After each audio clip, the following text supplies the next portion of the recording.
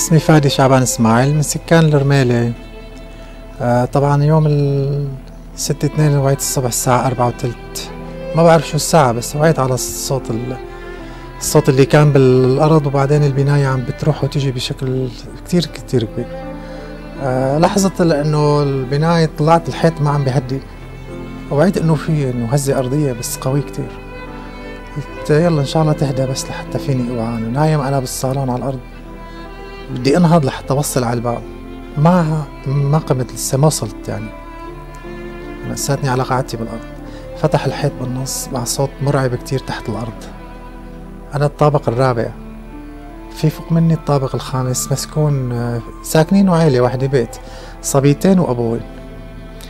هلأ لما أنا نزل الحيط علي وفتحت ال... ما بعرف رب العالمين إله إرادة. لما طلعت البلاطة فوق اللي أنا نايم عليه اللي هو الصالون. ما بعرف كيف طلع. سمعت صوت بنت من البنات عم تصرخ بس صوت غميق يعني للحظة بس وراح الصوت. سكان البناية ولا حدا فيهم. حاولت نادي لحدا منهم من رفيقي اللي كان ساكن بالطابق الثاني بس ما كانوا نايمين بالبناية وقتها كانوا باللاتية عند أهلي. سكان البناية الطابق الثالث آه، في جارنا بناته الأربعة وزوجته توفوا. بالرابع اللي حد مني تماما كمان هو وابنه وبنته كمان توفوا البنات اللي فوق مني بالخامس وأبوين كل شي كان بالبناية كلهم ما حدا طلع فأنا ما شفت حالي غير تحت المطر وفوق فوق الركام اللي هو البناية.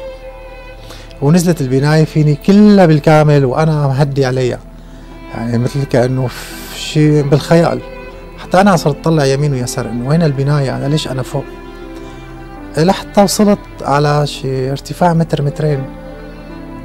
زحطت هون وعيت إنه بدي أنا لازم أمشي. زحطت على طبعا أسفل ظهري كان كله مقحوط نتيجة الزحط على البحص بعدين قمت بشكل مرعب وبسرعة. مشيت شي تقريبا 200 300 متر ركض. وصلت لمكان في ناس تجمع كان في بناية تانية وقعت بالجهة الثانية جنب الجامع اللي هو جامع الرحمن البرميلي. الناس عم تركض وتصرخ. أنا ما حاسس على حالي إنه دم كان راسي كله بس الوجع ما كنت حاسس إنه في وجع. آه هون راح يبلش نفسي يروح. هون في سيارة هون الجيران في سيارة وصلوني فيها على مشفى جبلة. مشفى جبلة هنيك ما حدا كان الناس كلها مليانة المجد الإسعاف. شي وفيات شي إسعاف شي ناس رايحة رجليها.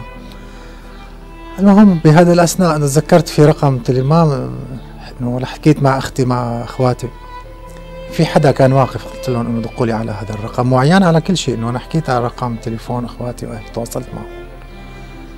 آه، إجوا الأطباء طلبوا لي صورة أشعة إنه نفسي عم بيروح.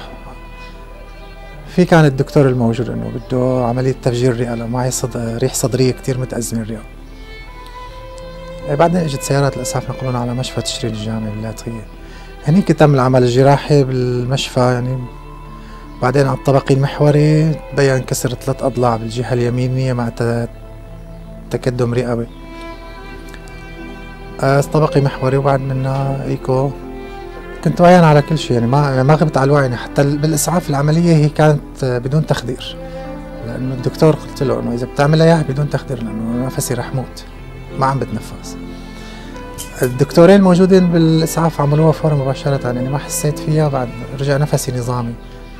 طولي المفجر وبعدين بالاستقبال على قسم الصدرية جراحة الصدر ضليت 8 أيام تماما بالمشفى.